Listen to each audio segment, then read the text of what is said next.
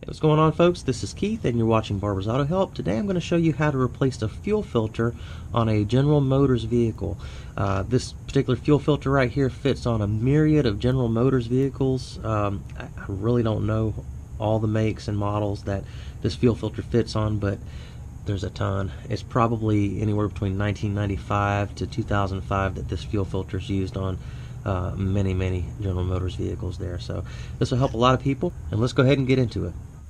Okay, before you go to take your fuel filter off, go ahead and access your fuse panel and locate your fuel pump relay. Take the fuel pump relay out, crank the vehicle. If it starts and runs, let it run until it dies. If it doesn't run, crank it for about 10 seconds. What you're doing is you're relieving any fuel pressure that might be built up inside the fuel system. That'll make it so there's less pressure inside the fuel filter and not as much gasoline will spew out when you take the fuel filter off. Alright, now typically the fuel filter is going to be located somewhere up underneath the vehicle uh, near the gas tank. Sometimes it's further up, maybe up underneath the uh, the driver's seat or up underneath the, the back seat.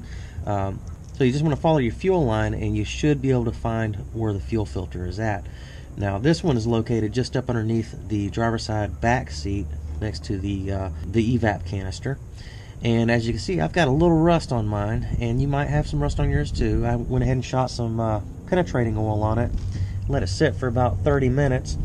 Now, I don't know if that's going to make a difference or not, but let's go ahead and get into it. Now, the nut on the fuel filter is three quarter, and the nut on the fuel line is 5 eighths. 16 millimeters the same too by the way.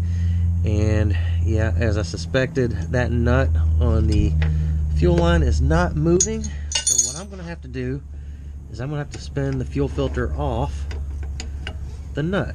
And it works that way and it's okay to do it this way because the uh, fuel filter spins inside this fitting right here. So it's not really bolted in. It's, it's got a, a little line that slips right over it. So this will spin rather easily. All right, guys. Hey, I just want to break in right here uh, just for a second and explain something and make something very clear. Uh, when I say that it's okay for this fuel filter to spin on this line, what I'm re referring to is it's okay to uh, spin the filter inside of the black nylon line. It's not okay that my nut on my metal line is, is uh, locked into place and it's all rusted out like that. Um, really, that line needs to be replaced. I do not recommend reusing a line that looks like this. Um, the whole purpose of this video is basically to show you how to replace your fuel filter, not how to take care of a rusted line. So I just made this video for that sole purpose there. Uh, this Pontiac Bonneville actually sat in my yard for years and I made videos on it. Uh, so I, I, wasn't putting money into it and you can see that I'm not even replacing the, the fuel filter. I'm just going through the motions showing you how to replace the fuel filter.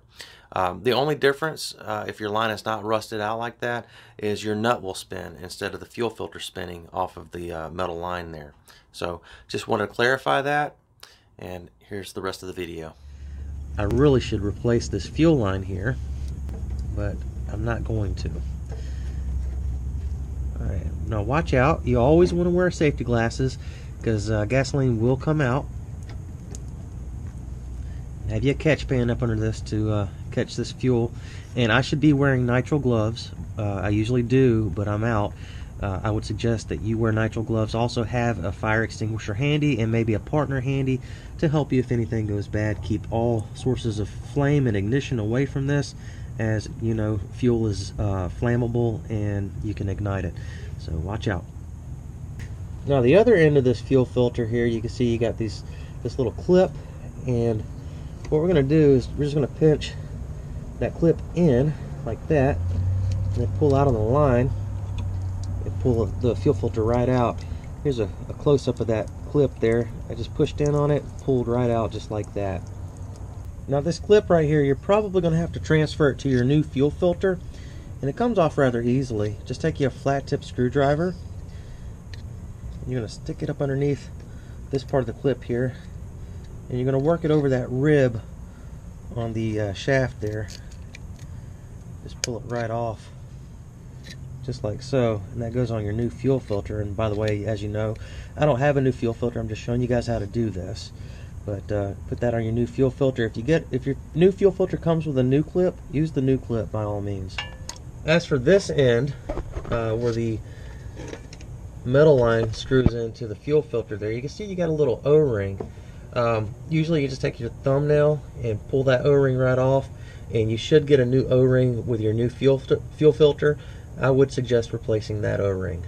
Okay installation is just reverse procedure. I'm just going to snap this onto the nylon line there first set that up into place and then I'm going to screw it on by hand. Because my nut is seized up on the line there. Let's go ahead and tighten this down